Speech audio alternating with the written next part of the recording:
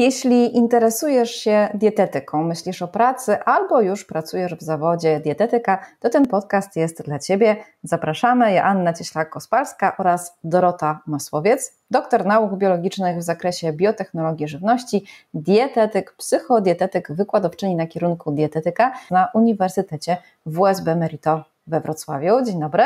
Dzień dobry.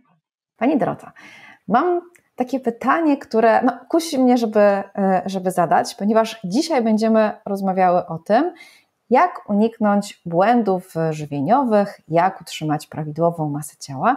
Więc chciałabym zapytać, czy Pani z Pani wiedzą, z Pani doświadczeniem w takim życiu codziennym, nie w pracy w gabinecie, nie w trakcie pracy ze studentami, tylko w takim normalnym życiu wstajemy, jemy śniadanie, potem obiad i tak dalej. Czy pani patrząc na jedzenie myśli sobie o tym, mm, to są piękne wartości odżywcze, one dobrze się sprawdzą i pozwolą mi dobrze funkcjonować, czy po prostu mm, to jest dobre? Staram się tak nie myśleć, e, właściwie nigdy tak nie myślę.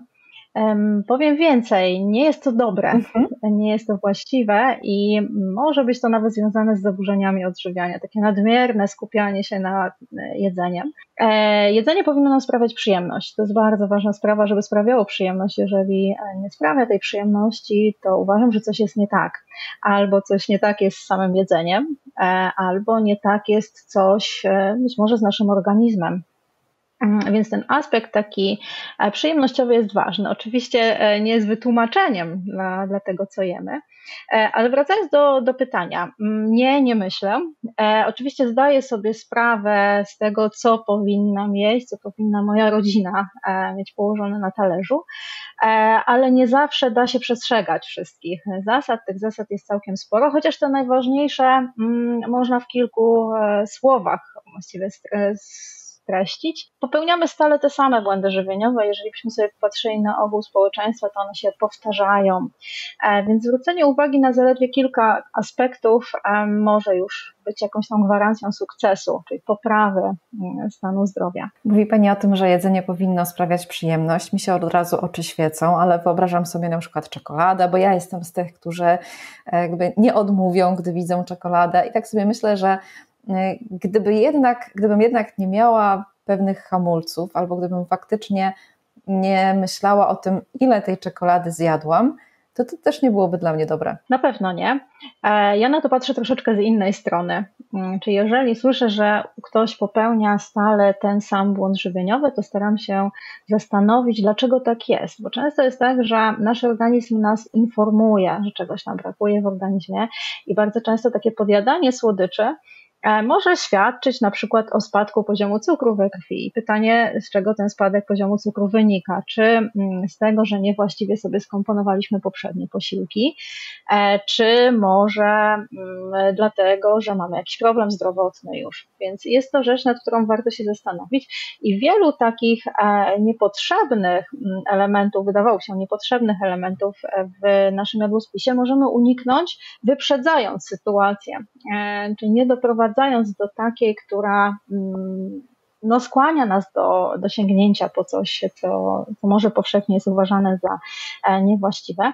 Ja uważam, że wszystko jest dla ludzi. E, nie ma czegoś takiego mm, jak, jak jedzenie śmieciowe. To jest tak, że mm, my musimy po prostu codziennie dokonywać wyborów i możemy tych wyborów dokonywać w sposób taki bardziej świadomy, przemyślany. E, nie mam na myśli tutaj wczytywania się w różne czasopisma, e, takie popularne, czy, czy śledzenie tylko i wyłącznie jakichś informacji w mass mediach, mm, ale też takie, taka świadomość własnego organizmu i jego potrzeb. Dlaczego sięgam po coś, co sprawia, że, że może czuje się lepiej. Często wypróbowanie e, pewnych drobnych zmian, bo to nie musi być tak, że nagle postanawiamy zmieniać wszystko, tylko wprowadzenie jakichś takich drobnych zmian może nam bardzo pomóc, właśnie w niesięganiu po coś. I teraz jedzenie ma nam sprawiać przyjemność, ale niekoniecznie ma być drogą na skróty.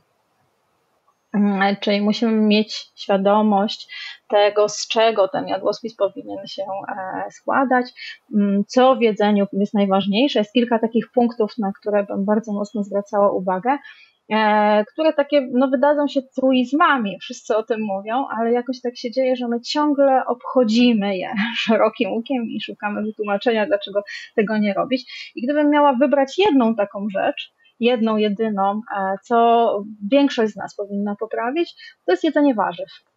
E, to, to jest bardzo ważna, ważna kwestia. I teraz już nie wchodzę w szczegóły, jakie to mają być warzywa, czy, e, czy one mają być jedzone na surowo, czy one mają być gotowane, czy mają być gotowane na parze, czy mają być kupowane gotowe mrożonki, które wrzucamy na patelnię.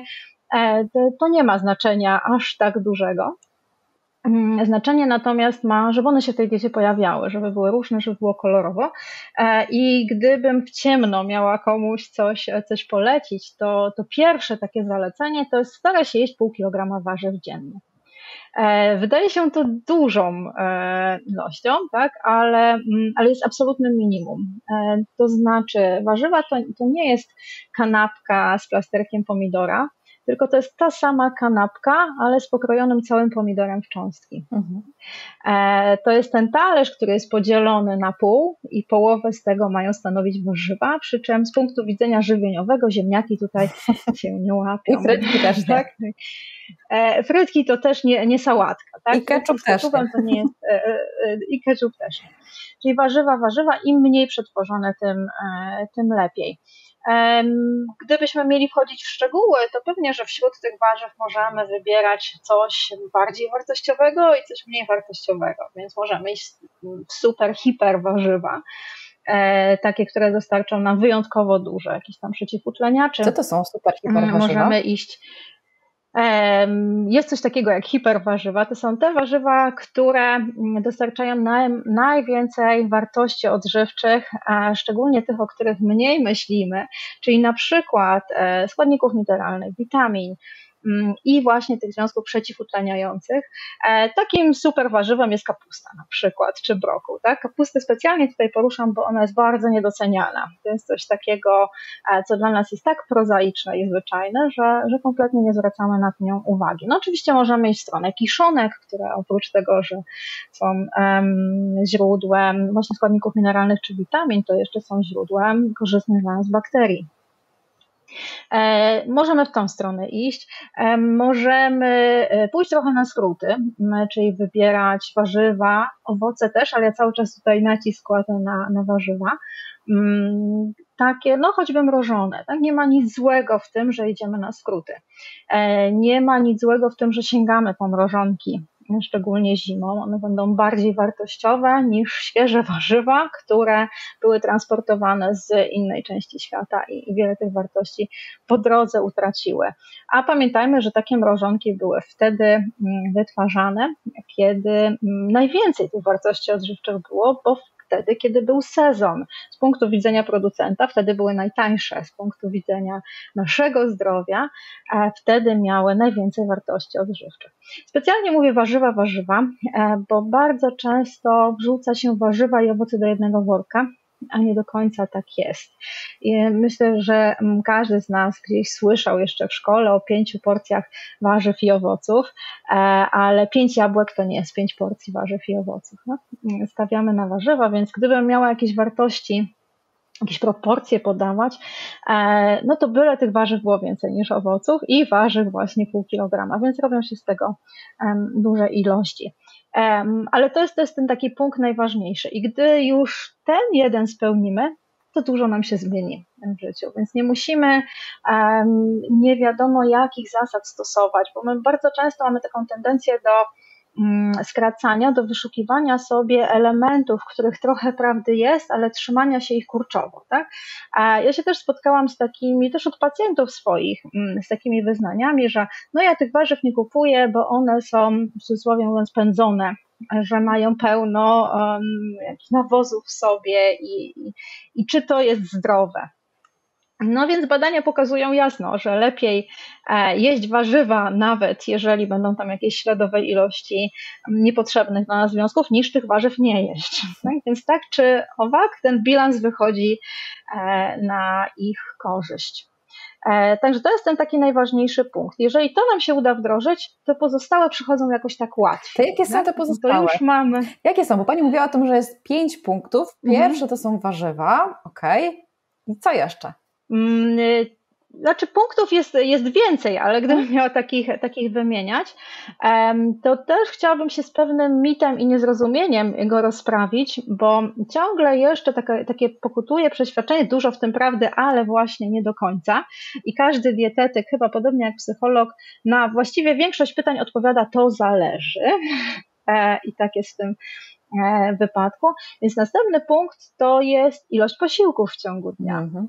To zależy. Bo to zależy, tak? Zależy, jak my to interpretujemy. Więc mm, jeżeli ja pytam pacjenta, klienta, ile on je posiłków w ciągu dnia, to w 90% przypadków pada 4-5. Ale jeżeli ja się dopytam szczegółowo, ile tych posiłków jest, to wychodzi mi 11, o. 12, a czasami wychodzi jeden od rana do wieczora. To też jest jakieś takie właśnie niezrozumienie pewnego mitu, który kiedyś się pojawił, czyli jedz częściej, a mniejsze porcje. No jeżeli byśmy mieli się cofnąć, nie wiem, 100 lat wstecz, w jakieś takie miejsce, gdzie gdzie, gdzie mieliśmy bardzo mocno ugruntowane zadania, które człowiek ma wykonać, szczególnie mężczyzna, e, który szedł gdzieś do fabryki albo szedł w pole i jadł faktycznie jeden wielki posiłek rano i drugi po powrocie, to jeżeli taką e, stronę patrzymy, to rzeczywiście te dwa posiłki to trochę mało. Ale to wcale nie oznacza, że im więcej, tym lepiej. Ten nasz żołądek, nasze jelita też mają, muszą mieć możliwość odpocząć sobie pomiędzy posiłkami, więc za optimum uważa się 3 do 5 ale 3 do 5 bez e, tej kawy pomiędzy wraz z ciasteczkiem, tak? Bo już gdy dokładamy do tego, do, do kawy trochę cukru, trochę e, mleka, do tego dokładamy ciastko, przecież nie da się wypić kawy bez ciastka, często tak, e, tak myślimy, to to jest osobny posiłek. Więc często jest tak, że my zjadamy śniadanie, no bo śniadanie uważa się za najważniejszy posiłek w ciągu dnia. Też nie do końca jest to prawda. Nie dla każdej osoby, nie każdy najlepiej funkcjonuje, jeżeli zje największe śniadanie.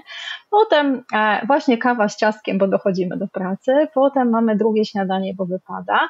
Potem ktoś nas czymś poczęstuje, więc jadamy. Potem jest pora na obiad, ale zanim ten obiad y, zostanie przyrządzony, to sięgniemy po batona. I właśnie chodzi o te wszystkie dodatki pomiędzy.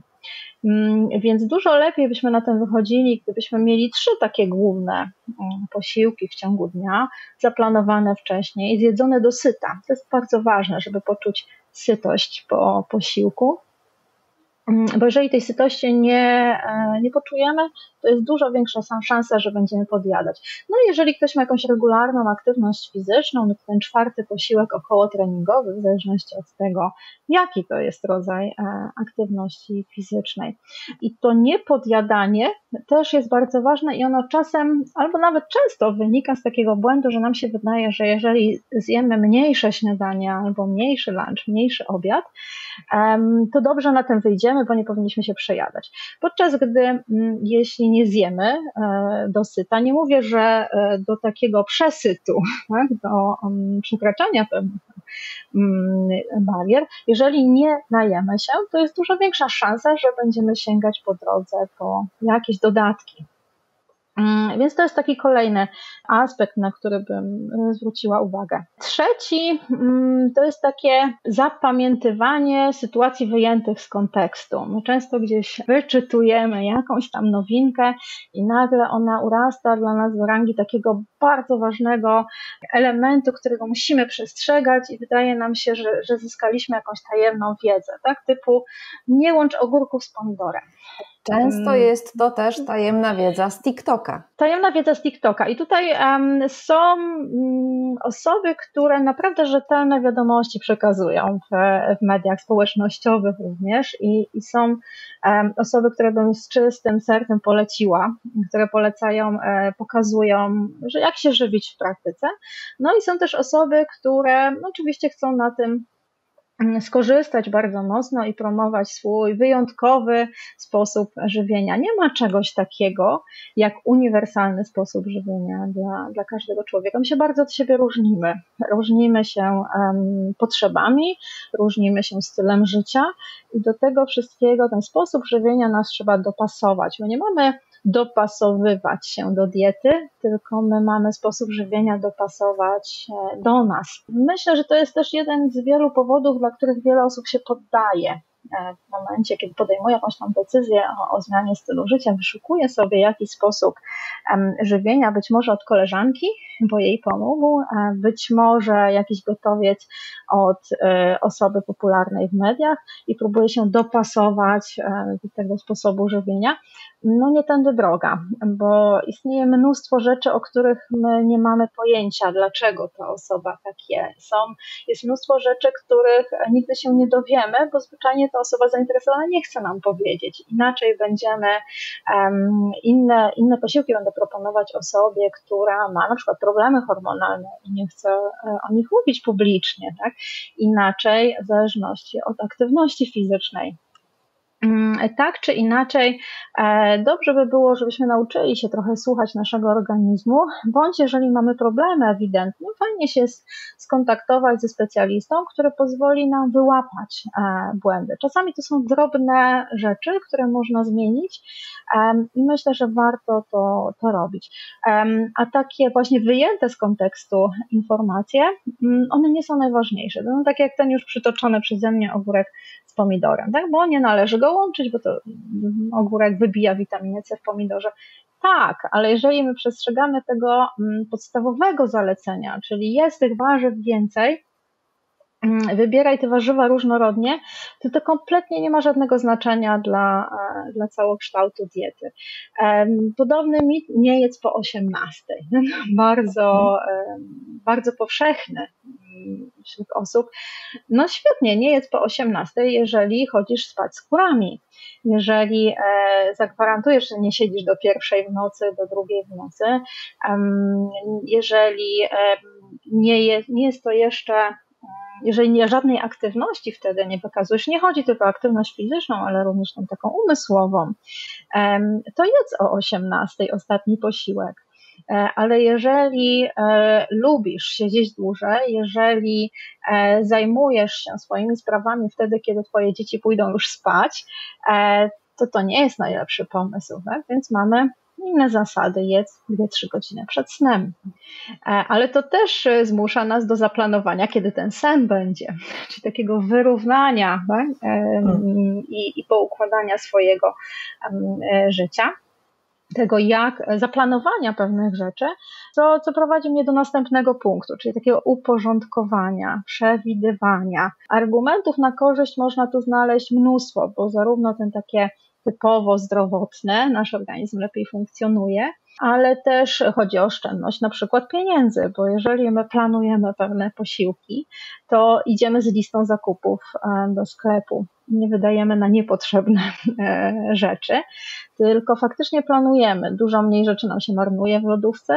Raczej te wszystkie takie elementy zdrowego stylu życia można ze sobą mm, bardzo mocno łączyć. Czy to nie jest też e, trochę tak, bo mówiła Pani o tych o tych elementach, na które warto jest zwracać uwagę, czy to nie jest też trochę tak, że my jesteśmy, mm, nie wiem czy niewolnikami, czy to będzie dobre określenie, ale jesteśmy pod bardzo dużym wpływem różnego rodzaju modnych diet. I to nie jest kwestia ostatniego roku czy kilku lat, ale właściwie już od, od dawna. Co chwilę pojawiają się modne diety, przeróżne diety.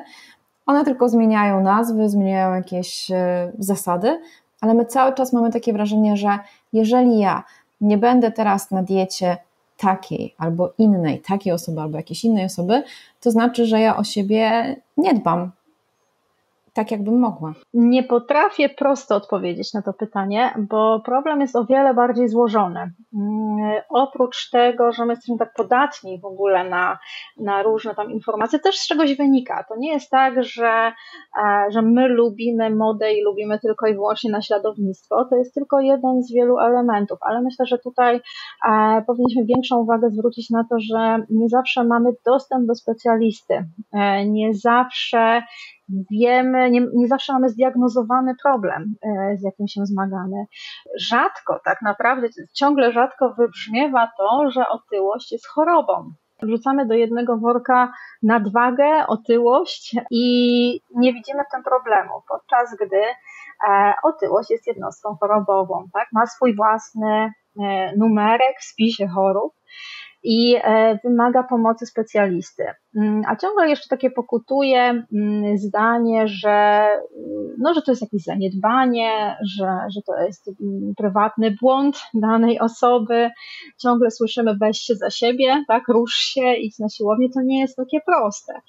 E, I tak naprawdę osoba, e, która choruje z powodu otyłości, powinna mieć dostęp, tutaj trochę takie mi się mm, marzeniowe myślenie włącza, ale powinna mieć dostęp do, do specjalistów, do szerokiego, szerokiego grona specjalistów, więc powinien być lekarz, e, powinien być fizjoterapeuta, bo to nie wystarczy iść do trenera personalnego, który dobierze aktywność fizyczną, tylko to musi być specjalista, który nie zrobi krzywdy, który uwzględni ograniczenia. Oczywiście w tym gronie znajduje się również e, dietetyk, ale ponieważ nie ma takiego społecznego przyzwolenia na traktowanie e, otyłości jako choroby i leczenia jej, to często pacjent jest zdany sam na siebie. E, więc szuka różnych metod. Komuś coś pomogło, więc może i ja spróbuję. My mamy tendencję do takiego samodzielnego zajmowania się rzeczami, również tymi, na których nie znamy, nie mamy zaufania do, do specjalistów. To e, nieważne, czy chodzi o naprawę e, samochodu, czy chodzi o, o odchudzanie, to często próbujemy m, mm, samodzielnie. Mało to, z takimi osobami, które wielokrotnie próbowały m, mm, odchudzać się choćby, e, dużo ciężej się pracuje, dlatego że one nie mają zaufania ani do specjalistów, ani do siebie. Mm, często przychodzą z przeświadczeniem, że już próbowałem wszystkiego, więc mi już nic nie pomoże. Mm, I nawet zdarzało mi się, że przychodziły mm, osoby do dietetyka, która już na wstępie mówi, przecież widać, jaki jest mój problem. No nie widać, e, dlatego że nie chodzi tylko o tyłość, chodzi o cały często zespół różnych problemów i które uważały, że, mm, czy wychodziły tak z rozmowy, że mm, w zasadzie one na, nie, na niewiele liczą, że po prostu chciały odhaczyć kolejny punkt, żeby mieć taką świadomość, że dużo zrobiła, ale już e, niewiele można. Więc tutaj są, mm, myślę, że tych powodów, dla których sami próbujemy, jest bardzo wiele. Jest to ciągle problem wstydliwy. E, ciągle mamy kłopot z tym, żeby się przyznać, że mamy e, problem, więc szukamy prostszych rozwiązań. Natomiast leczenie otyłości czy, czy praca z osobami, które mają e, nadwagę, brzmi bardzo prosto, mm, bo wymaga e, po prostu zastosowania diety, celowo mówię tutaj po prostu, tak? E, celowo po prostu pójścia do, do lekarza i przebadania choćby hormonów i po prostu aktywności fizycznej. To brzmi tak, ale prawda jest zupełnie inna, bo mm, Wymaga to indywidualnego podejścia. Nie da się tak po prostu od razu diety ustalić bez, e, bez współpracy z lekarzem. Więc e, wszystko się komplikuje, gdy dochodzimy do szczegółów. Mm, więc pacjenci często są zdani sami na siebie. Niestety tak nie powinno być. Mam nadzieję, że to się e, zmieni. No szczęście zauważam też, że coraz częściej trafiają do specjalistów. E, coraz więcej się mówi o, mm, o problemach związanych z e, otyłością. No ale co innego e, tylko rozmawianie o tym, a co innego taka codzienność pacjentów. To takie, to, to z czym się zmagają właśnie w życiu codziennym, bo mm, no dobrze, odchudzasz się, ale jedno ciasteczko ci nie zaszkodzi. Tak? E, I często ten pacjent, który dużo sobie odmawia, stara się, wykonuje ogromną pracę, bo zmiana nigdy nie jest łatwa, Dodatkowo mu dokładamy takie, mm, takie niby drobnostki, e, żeby, żeby gdzieś tam siebie przemycić i swoje zdanie, które no, są tak naprawdę kłodami pod nogi. Więc ja myślę, że to jest, e, to jest duży problem. Mamy problem, żeby się mm, przyznać do tego, że, że mamy problem. Tak? E, tak, tak bym to interpretowała. A to, że diety są modne, coraz to nowe, po prostu nie działają. Więc jeżeli nie działają, szukamy kolejnych rozwiązań. Nie działają, bo są niedobrane do nas, bo są e, jakimś skrótem myślowym, mają takie działanie magiczne często. Jedz tylko grejpfruty, grejpfruty ci pozwolą spalać tkankę tłuszczową szybciej. Tak? E, wypijaj kawę, ale nie zwykłą kawę, tylko najlepiej bullet coffee, mhm. tak, która będzie e, w taki trochę magiczny sposób e, działała. Mi się tutaj przypomina zawsze mm, w takiej sytuacji książka z dzieciństwa mojego, czyli Panna z mokrą głową. Tam był taki wątek, gdy, gdy pan doktor zalecał biednej rodzinie zabicie czarnej kury. To musiała być czarna kura, e, dlatego że oni musieli uwierzyć w siłę tej, e, tej kury, inaczej by ją nie zabili, inaczej ona by nie zginęła. I, mi się tutaj też coś takiego e, pojawia, tak? czyli nie będę jeść warzyw, ale będę dosypywać przypraw termogenicznych, które w jakiś magiczny sposób mają przyspieszyć moją przemianę materii. Tak, one przyspieszą, ale ten procent działania jest tak niewielki, że tak naprawdę nie ma większego znaczenia. Jeżeli one są na dokładkę, dokładamy je do, do fajnie ułożonego jadłospisu, to świetnie, ale same cudów nie zdziałają. No właśnie, ale to mi przychodzi do głowy jeszcze jedna droga, być może na skróty, to zaraz pani skoryguje. Mhm. Nie chcę jeść warzyw, bo nie lubię, ale na przykład kupię sobie suplementy, które mi te warzywa zastąpią. Mhm jest tyle suplementów, jest tyle odżywek, właściwie gdzie się nie odwrócę, tam znajdę sklep z suplementami, już nie mówiąc o tym, co jest w internecie. Czy to przebadane, czy nie, no pewnie skoro sprzedają, to jest wszystko w porządku. Przypuszczam, że myślenie wielu osób, być może też takich, które trafiają potem finalnie do Pani. E, no i niestety mnie producenci i dystrybutorzy suplementów nie znoszą. Jestem wielką przeciwniczką suplementów diety jako takich. E, wynika to przede wszystkim z prawa, jakie mamy. Tak? Czyli, żeby wdrożyć e, lek nowy, potrzebujemy wielu lat badań klinicznych, potrzebujemy w tej chwili już miliardów dolarów, żeby taki lek mógł zaistnieć, ale przede wszystkim potrzebujemy badań różnych, po kolei kolejnych e, etapów badań klinicznych. Natomiast, żeby wprowadzić suplement diety na rynek, potrzebujemy zgłosić tylko i wyłącznie do Głównego Inspektoratu Sanitarnego e, wzór etykiety i koniec. E, więc tak naprawdę, dopóki ktoś, być może naukowiec, być może naukowiec, który zdobył grant na badania, nie przebada, co jest w składzie, to my nie wiemy, co w nim jest. I oczywiście jest kilku takich uznanych e, producentów suplementów, którym zależy na opinii e, i od lat trzymają powiedzmy normę, tak? ale, ale tak naprawdę my nie wiemy, jak, jak to działa. Nie wiemy, czy działa, nie wiemy, czy danej substancji aktywnej jest tyle, ile producent deklaruje na, na opakowaniu. Także to jest ten jeden aspekt, że nigdy nie mamy pewności. E, druga sprawa mm, to jest taka, że suplementy mają stanowić, znaczy nie mogą stanowić alternatywy dla rozmaiconej diety. One są dedykowane dla osób, tylko i wyłącznie tych, które nie są w stanie z żywności spełnić zapotrzebowania.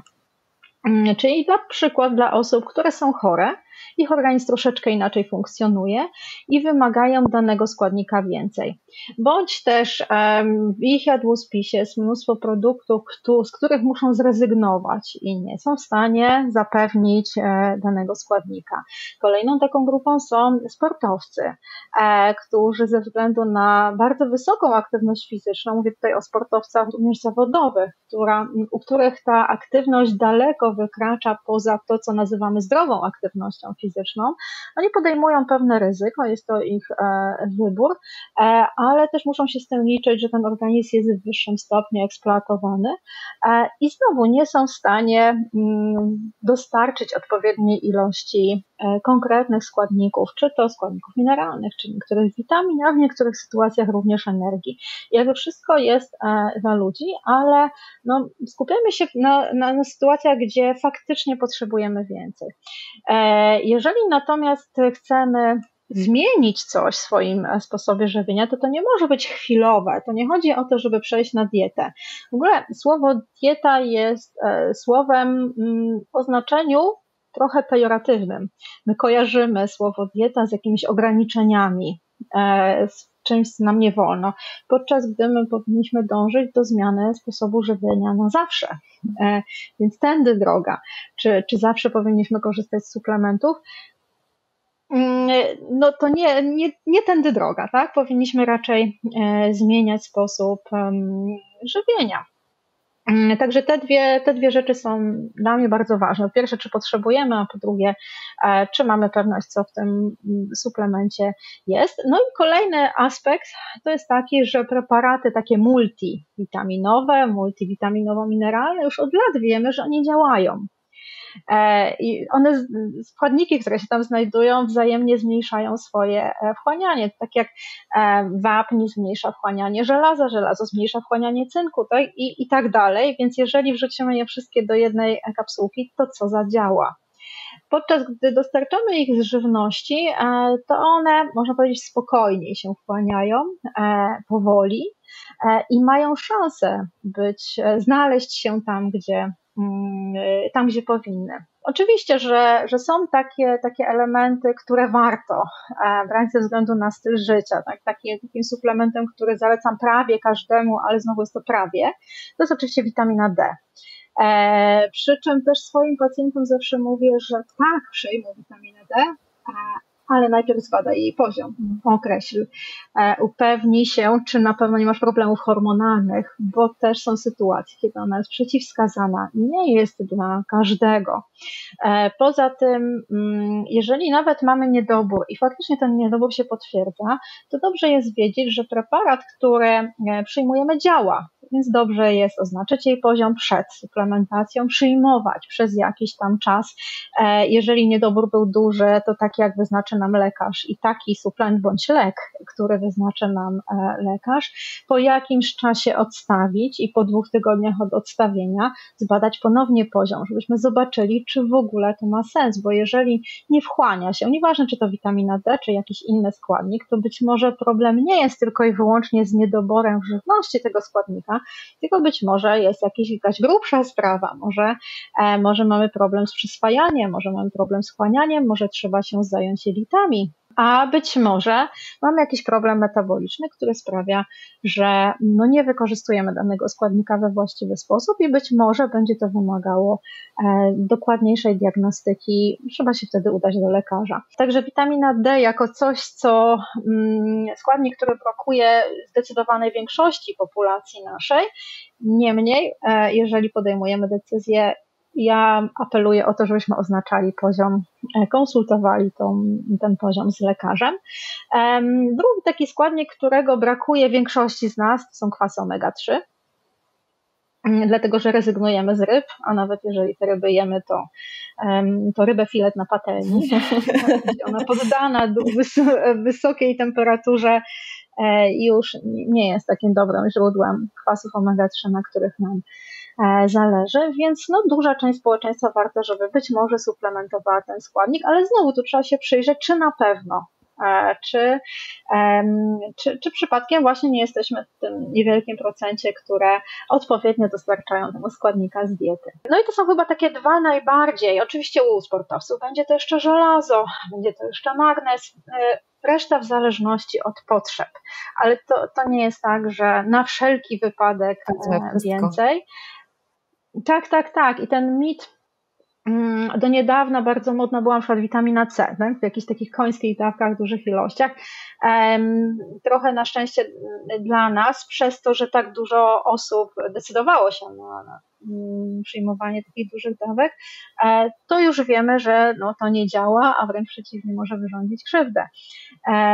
Więc y, wiemy już, że nie, tak? że dużo lepiej, zwłaszcza jeżeli mówimy o przeciwutleniaczach, witamina C również jest przeciwutleniaczem, to od lat wiemy o czymś takim jak synergistyczne działanie różnych przeciwutleniaczy, czyli mm, tak popularnie mówiąc 2 plus 2 równa się 5. Tak? Każdy z przeciwutleniaczy działa w jakiś tam określony sposób, z określoną mocą, ale jeżeli zbierzemy ich kilka razem, to będą e, działały dużo silniej razem niż każdy z nich z osobna.